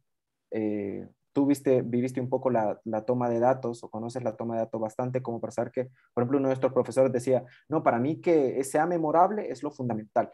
Y el otro no, que sea matemáticamente exacto es lo que importa. Y así de un estudiante en formación, de profesor a formación inicial a otro. Así varían esos focos y esas como mallas. Entonces, la categorización, si bien se podría hacer, creo que debe ser muy amplia y en ese sentido no sé qué tan útil nos vaya a ser para profundizar. Si debe mantenerse lo suficientemente amplia o tan grande como para que quepan muchísimas variaciones, oscilaciones de ella. Entonces, ya veremos más adelante, sobre todo a la luz de los datos, qué se puede hacer con estas categorías que tú mencionas eh, eso es lo que te puedo comentar, Meli. Bueno, a mí me parece bastante interesante esto. Eh, respecto de esta pregunta que te hacía la doctora, que también me, dejó pensando a mí. Eh, bueno, hace poco discutíamos con, otra persona sobre, que, sobre algunas cuestiones que le han hecho a la teoría respecto de en qué se diferencia esta entonces la teoría socioepistemológica de otras que son de carácter social o sociocultural. Entonces, eh, en este caso, pues claramente los saberes docentes comparten, comparten ciertas características que nosotros al leerlas podríamos decir, ah, claro, está perfecto, podríamos integrarlas porque los saberes docentes son reconocidos como una construcción social, ¿no? Además de eso, tienen un carácter histórico y dialógico que nosotros quizá compartamos de entrada. Ahora, eh, yo creo que ahí lo importante es pensar, bueno, bueno, pensar como en dos niveles. Esa pregunta que hace la doctora, claramente no vamos a tener una respuesta ni aquí ni mañana, pero pensarlo como en dos niveles. El primero es, eh, de manera general, que comparten estas dos, ese posicionamiento social y cultural que comparten las dos, ya al estar, al estar posicionados en un mismo paradigma social, tienen que haber cosas que van a compartir. Eh, Y lo mismo pasa cuando nosotros nos, pues, empezamos a, a, hacer, a hacer una distinción entre nuestra, nuestro posicionamiento eh, de, prácticas en comparación con otras teorías que también tienen un posicionamiento de práctica. ¿no? Entonces pasa lo mismo, es decir, ver como esta pregunta primero que nada de forma general para ver qué comparten y luego ir, a estas particularidades ya en estos momentos del rediseño del discurso y cómo, o, cómo el discurso o el rediseño del discurso va a permear una integración, en este caso como la doctora supongo yo lo, lo está viendo. Pero bueno, esas son como las ideas que se me ocurren ahorita, es decir, verlo de manera general y luego de manera muy particular para ver algunos ejemplos como muy específicos donde se puede evidenciar esa, esos elementos. Pero bueno, me quedo pensando muchísimo en esa pregunta. Eso quería comentar. Gracias. Esta mirada general usualmente, bueno, fue la que hicimos para ver si era posible articularlas o coordinarlas para un mismo proyecto. Es como, bueno, irnos a sus principios y ver si sus principios son consistentes, de tal manera que lo que a esto se le llame saber, al otro sea cercano a lo que el otro llame saber y no contradictorio. Entonces, creo que esta primera gran parte como general se ha hecho. Ahora, eh, el estudio quizás más fino lo queremos realizar a partir de lo que nos digan los datos. Entonces, vamos a ver qué encontramos en los datos. Vamos a hablar primero de cada una de las teorías y ver qué permiten ver ambas, porque estamos seguros que, como tú decías, el saber matemático que ve la socio y en particular el, saber trigonométrico que vamos a analizar, se va a traslapar un poco con los saberes docentes, dado que el saber matemático va a ser un saber docente en términos de Ruth Mercado también. Entonces, ahí va a haber como una franja intermedia en la cual vamos a poder decir cosas. Ahí es donde Gisela ubica el discurso matemático escolar y donde estamos discutiendo cómo lo describimos, pero ya veremos. Más hacia adelante y con base en los datos vemos qué podemos decir de, ese, de esa posible traslape. ¿no? no sé si quedan más preguntas o comentarios, Alexis. Vamos a ver eh, si alguien más tiene alguna pregunta, comentario, puede levantar su mano, puede prender su cámara. También los que nos siguen en Facebook pueden dejar en sus comentarios su pregunta, que hasta el momento parece que no hay en Facebook.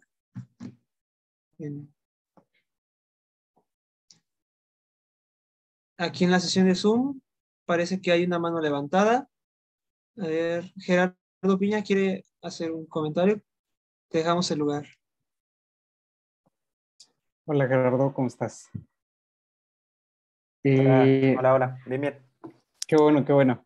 Oye, este, bueno, primero quiero hacer como un, eh, pues es como un agradecimiento, creo yo, lo primero porque me agrada esta, esta, esto que traes aquí al, seminario, en tanto que, como tú mismo lo describiste, es como narrar con esta idea de ser sincero y, detallado en tus decisiones, en las herramientas y en los avances.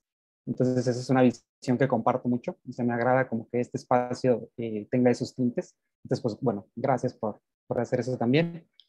Eh, con esta última, tengo como dos cuestiones o como dos cosas que quiero preguntar. Una sí está un poquito más perfilada hacia esta idea de, ser sincero y, detallado y la otra quiero un poquito en torno a, a esto que han estado discutiendo, que, traen al escenario el discurso matemático escolar. Eh, tengo la, pregunta así tal cual mientras estabas tú platicando. y yo la escribí así, esto antes de la reflexión, ¿no? O sea, antes de que hiciera el comentario Melvin, antes de que hiciera el comentario la doctora Montiel. Y bueno, ahorita la refino, pero quiero como presentarla. Eh, y es, eh, con esta idea de los saberes docentes, que primero quiero aclarar, yo no estoy familiarizado con el tema, entonces soy como, eh, desconozco en su totalidad, pero, pero mi pregunta así sincera es, con esta idea de los saberes docentes, ¿se puede caracterizar el discurso matemático escolar de la práctica de profesor? O sea, digamos así fue, fue como la, pregunta normal que me surgió. ¿Por qué me surgió? Porque en mi cabeza, cuando pienso en el discurso matemático escolar, eh, lo, estoy, estoy pensando a través de la caracterización de Soto. Sé que, sé que está como un poco a lo mejor limitada, pero, pero la caracterización de Soto me dice, ¿sabes qué? El conocimiento es el que tiene estas características. El discurso matemático escolar me permite caracterizar el conocimiento como hegemónico, como así, total, con sus completas, caracterizarlo. Pues. Y la pregunta que me surge, ¿sabes qué? Entonces, ¿será que esto que está proponiendo Gerardo con esto de los saberes docentes apuntará o tiene como estos indicios de querer caracterizar, que creo que es algo que a lo mejor Melvin estaba tocando si no entendí mal. Dada la reflexión y todo lo que están comentando, mi pregunta se trastoca un poco por esto último que tú comentas, ¿no? Como que viste que hay como mucha variedad este, de una a otra. Entonces, a lo mejor decir como caracterizar es como, pues, como complicado, creo yo, al menos la práctica profesional, la práctica de profesor. Eh, sin embargo, la pregunta puntual sería, eh, ¿tú crees factible una caracterización de ese nivel para la práctica de profesor? Así como, digamos, como homóloga a la caracterización que hace Soto del conocimiento, ¿crees que sea algo como factible o crees que, que no se puede y va a distar? Pues, eh, gracias por la pregunta. Eh, respecto al comentario que hacías al inicio, justamente la presentación la pensamos con esa idea eh, de hacer que este espacio sea como un poco más sincero, más honesto y transparente, contar, bueno, traje eh, los ejemplos incluso de, las, de los formatos que usamos y de todo con la intención de que el, incluso eso se pueda platicar, incluso eso se pueda discutir porque eh, fue cosas que construimos, cosas que retomamos a veces, de cosas que hicieron en el grupo, cosas que... Entonces la intención es que quienes participen eh, tengan la intención de verlo, discutirlo, comentarlo, criticarlo e incluso adaptarlo en caso de que alguno les pueda servir. Eso en primera instancia. Eh, y respecto al comentario que haces, la sensación que tengo, te voy a, voy a seguir siendo honesto, no te puedo responder ya, pero es que tenemos una, esta caracterización de Soto, nos, nos es muy útil para para ver lo siguiente. Mira, hablamos del discurso matemático escolar, que es como, claro, la ideología de fondo de qué se enseña y cómo se enseña matemática actualmente. Entonces, al nosotros analizar los saberes docentes desde la visión de Ruth, que básicamente son, son transparentes o los podemos analizar a través de lo que los profesores dicen de su práctica y las decisiones que ellos toman, entonces vamos a, con, analizando esos dos elementos en la práctica, vamos a saber sus saberes o nos vamos a acercar a los saberes y de dónde provienen. Ahora, lo que vamos a intentar hacer es un match con las características que eh, Soto le da a esa. Por ejemplo, profesores nos dicen, no, vamos, voy a poner primero esta actividad y después esta. Ahí hay una decisión. Ahora le preguntamos por qué. Porque primero se enseña lo general y después lo específico. Eso es como una concepción, un conocimiento que subyace a la decisión que toma el profesor. Ahora, ¿eso se podría hacer en match con alguna de las características del discurso matemático escolar?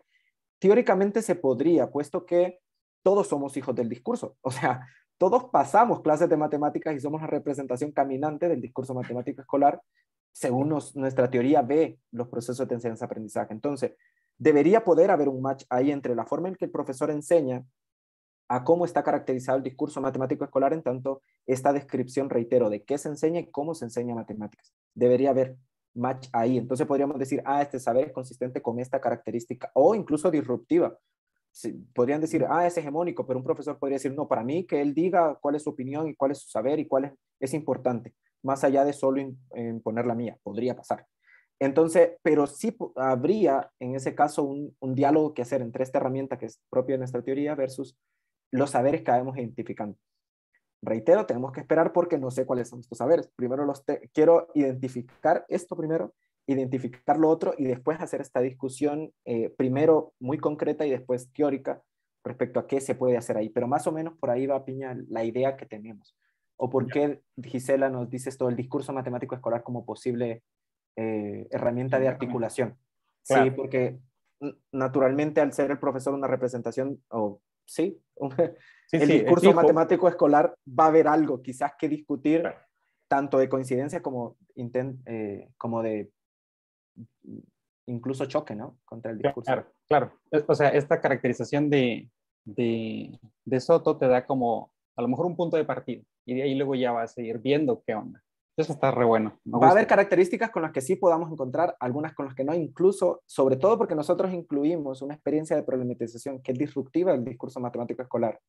Claro. Es probable que encontremos voces que choquen con eso. Por ejemplo, que yo digan, no, no nos interesa eso, nos interesa tal cosa. Y eso ya haría eh, evidente un conflicto que quizás nosotros incluso hayamos provocado al introducir esta experiencia de problematización que al centrarse en usos, al centrarse en, choca con el discurso matemático escolar. Entonces van a haber varias cosas ahí que, claro, ver. claro, claro. Me suena como que, como que la caracterización de, Cres, de Soto, perdón, este, sí va a tener como este carácter de, de guía, pero que también va a haber esos momentos de choque que van a hacer que a lo mejor tengas que tener otra, otras características. O sea, no vas a poder hacer match con ninguno. Y vas a tener que decir, no, sabes que esto lo voy a tener que agrupar a lo mejor. Creo, no sé, ¿verdad? Es como estoy pensando. Sí, igual nosotros tampoco lo tenemos claro, pero más o menos por ahí va como tú dices. Sí, ya, ya. a haber unas que sí, otras que no, otras que choquen, otras que coinciden ahí de un poco de todo. Claro, claro. Bueno, gracias por, por eso, Gerardo. Este, la otra cosa que quería preguntarte es, eh, que estaba como orientada a esta idea de lo sincero y detallado. De, y sí, o sea, porque nos presentas, haces como una presentación, eh, al menos yo la disfruté mucho de esto de las revisiones sistematizadas, de nuevo no las conozco, o sea, no, no, no, no he leído alrededor de ellas, eh, pero tú mismo generaste como, no me acuerdo cómo le dijiste, como un ciclo que tenía estas tres fases, ¿no? De búsqueda, de evaluación, de análisis y de redacción. Este, y la pregunta va en este sentido. Eh, ahorita, no sé si lo hayas hecho o no, puede ser que no lo hayas hecho, y, si no lo has hecho, pues no, se ha hecho y, ya. Pero al día de hoy, este, ¿habría cosas que ya después de haber hecho la revisión y que ya estás en otro momento de tu investigación, que hayas leído algo, que te hayas encontrado con algo, que, que, que luego digas, ¿sabes qué? Eh, puedo modificarle o, o, creo que a lo mejor ahorita con lo que sé podría regresar y a lo mejor modificaría algo de la fase 2 o agregaría una fase 4 o juntaría elementos de fases o no sé, o sea, me, refiero a, en esta idea de, de, que a lo mejor estas cosas se construyen conforme se van haciendo y ahorita que ya estás en otro momento, que hayas reflexionado y que hayas dicho, bueno, puedo cambiar algo, no particularmente de estas fases, pero me refiero a algo que ya tengas como terminado, que, que tú digas, ¿sabes qué? Este, lo podría pensar de otra forma ¿Por qué te hago la pregunta? Porque creo que, de nuevo, dado el, el, el, fin del seminario, que es lo que a lo mejor compartimos, creo que esas son cositas que luego no se quedan como, no son transparentes siempre. Entonces, cuando se presentan y uno es nuevo, se queda como, mm, ¿y yo cuándo voy a hacer todo eso? O sea, ¿cuándo voy a, cómo, cómo se me va a ocurrir a mí hacer fase 1, 2, 3? Y, y, es más como no que se te ocurre, sino que tienes como esta idea y luego vas avanzando y, y, se, y te regresas y cosas así. Y si tienes algo así como para ejemplificar, diría yo, este, te agradecería si, si lo presenta en tanto el tono del, del, seminario. Si no lo tienes, porque bien puede ser que no se tenga, o sea, uno está ocupado en la investigación y se entiende que uno termina esa cosa y luego no sabes que estoy en esta otra cosa y, y no tengo tiempo de pensar en eso, pero me regreso, no sé, cosas así.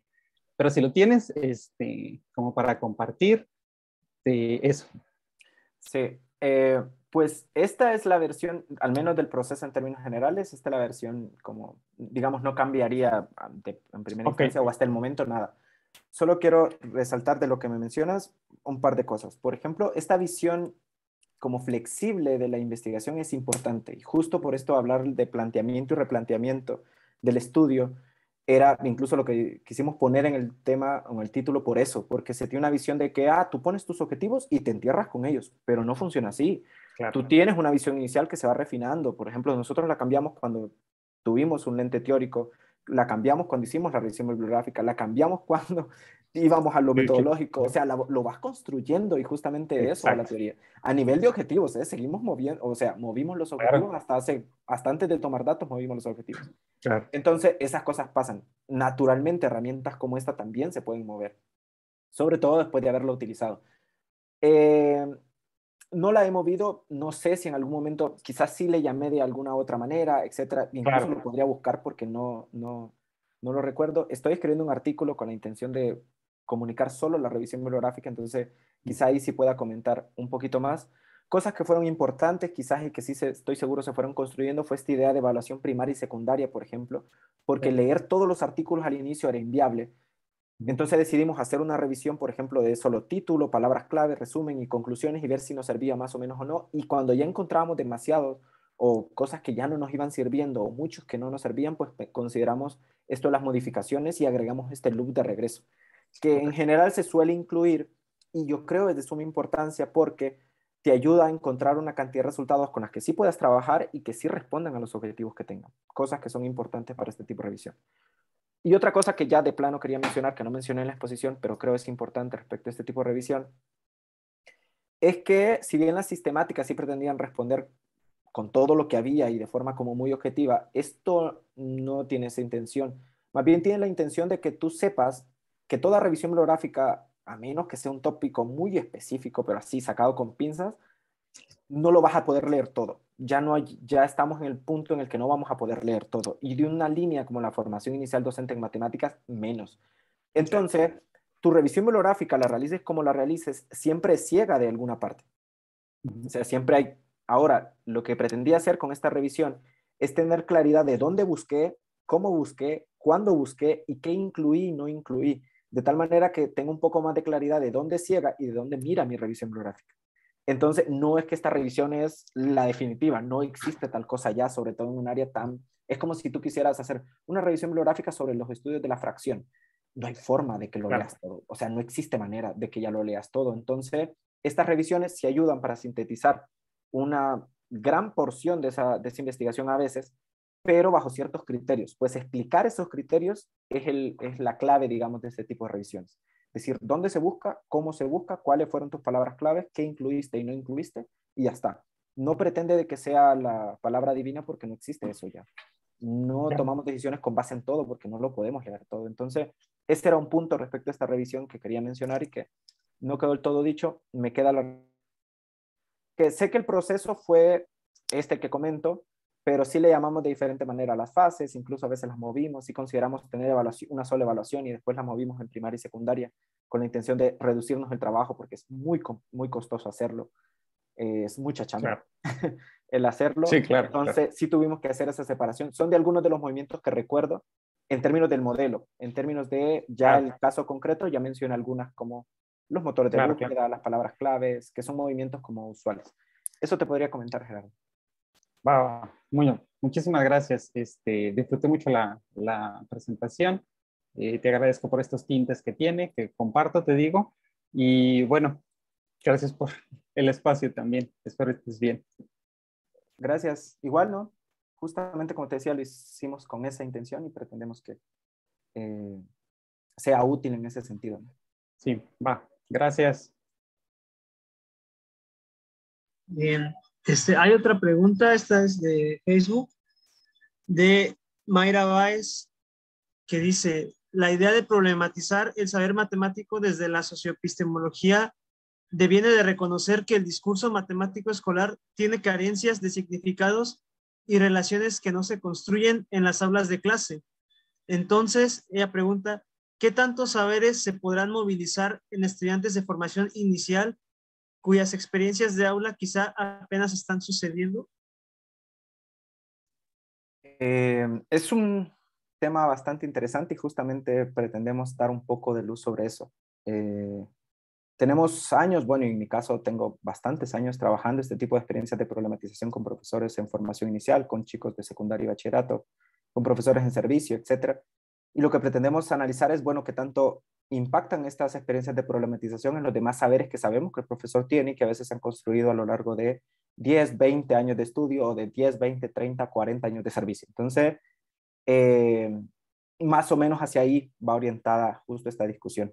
De partida, como bien menciona Mayra, reconocemos que eh, a la luz de esto del discurso matemático escolar y las experiencias de problematización, que hay usos en el, bueno, el carácter hegemónico refiere a poner algunos usos por encima de otros. O sea, hay usos de la matemática en la escuela en caso de trigonometría. Reconocemos usos como, eh, reconocemos un uso eh, hegemónico y reconocemos algunos significados que algunos son incluso matemáticamente erróneos, como el significado lineal, el significado aritmético, etcétera, de, de las nociones trigonométricas. O sea, hay usos.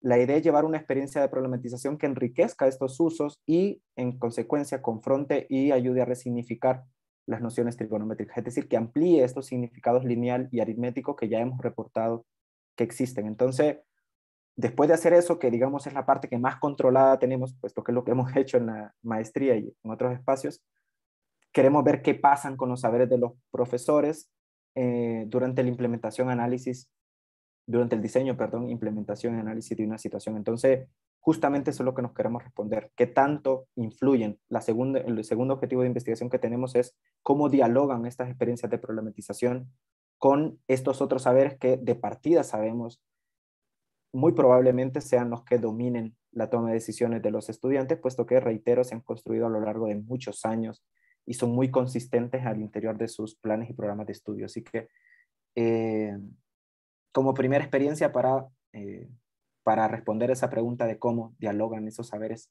docentes con la experiencia de problematización, es que estamos realizando la investigación y justamente eso apunta el segundo objetivo de investigación. Quizá con eso le respondo a Mayro, pretendo, pretendo responder su pregunta. yo, yo, creo que sí. Este, gracias nuevamente, Gerardo, por la respuesta, por el tiempo, por responder a las preguntas. Creo que ya no hay más preguntas en Facebook. Aquí no sé si haya más comentarios o preguntas. No veo más manos levantadas.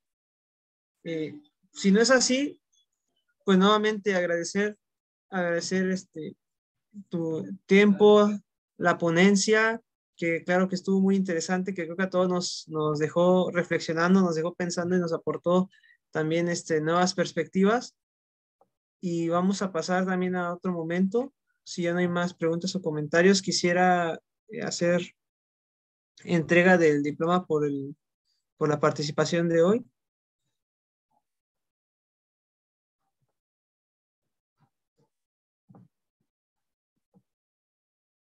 y le voy a dar lectura también a lo que dice el Centro de Investigación y de Estudios Avanzados del Instituto Politécnico Nacional, Departamento de Matemática Educativa, otorga el presente reconocimiento a Gerardo Cruz Márquez por su conferencia Replanteamiento de un estudio sobre los conocimientos del profesor de matemáticas en formación inicial, impartida en la edición 155 del Seminario de los Jueves del Área de Educación Superior, Ciudad de México, a los dos días del mes de diciembre de 2021 y firma la coordinadora del seminario, la doctora Rosa María Farfán. Así que nuevamente agradecemos eh, este tiempo, esta ponencia, maestro Gerardo, y gracias por, por compartir por impartirnos la ponencia. No, muchas gracias a ustedes por la invitación y eh, para mí es un gusto. Eh, reitero, espero haya sido de ayuda para quienes están también en este proceso de replantear y replantearse un proyecto de investigación, sea de maestría o doctorado, se están construyendo un propio camino. En ese sentido, creo que estos espacios para platicar el proceso también son eh, de suma importancia, como ya platicábamos con Piña y anteriormente con, con Melvin. Así que eh, muchísimas gracias por su escucha, por sus preguntas, sus comentarios. Igual, mi correo electrónico se los escribo en el chat, es gerardo.cruz.mx por si quieren hacerme alguna pregunta, algún comentario o platicar respecto a alguna de las decisiones que tomamos en el proceso. Muchísimas gracias, Alexis, y al grupo de organización. gracias, gracias a ti. Eh, y claro que creo que para todos nosotros ha sido muy este, beneficioso, muy de provecho esta conferencia. Y antes de que culmináramos la sesión, quisiera leer algunos avisos que hay. Son pocos esta vez.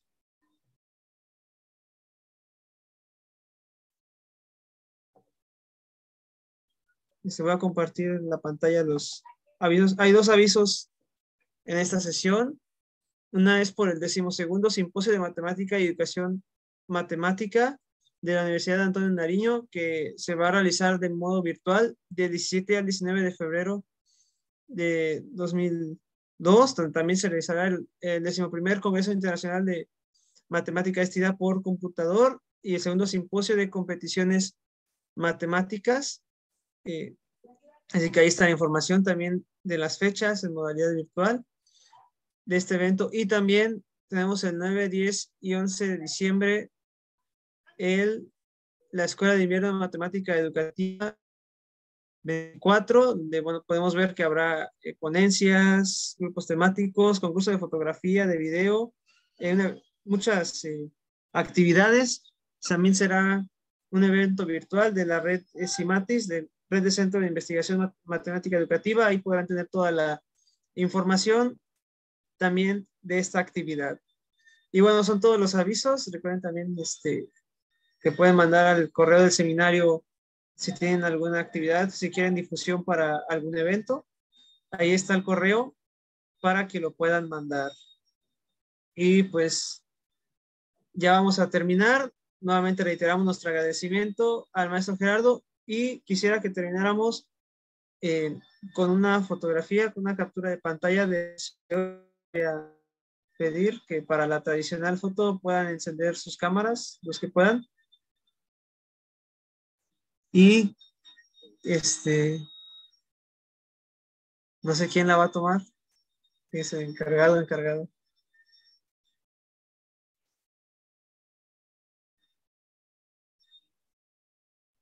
Yo puedo apoyar con eso, Alexis, y a todas y a todos los presentes. Entonces sonrían y a la cuenta de tres. Uno, dos, tres. Listo. No sé si alguien más tomó otra, pero pues ya la estarán viendo en redes sociales. Bueno, gracias Diana y gracias también a todos y a todas eh, quienes estuvieron presentes en esta sesión, que ya es la última que nos tocó a nuestra generación. Agradecemos también el tiempo de conectarse y también a cada uno de los miembros de la generación que, pues, que estuvimos ahí, digamos, cada sesión al pie del cañón. Así que no sé si haya más que decir, sino para ir combinando la sesión.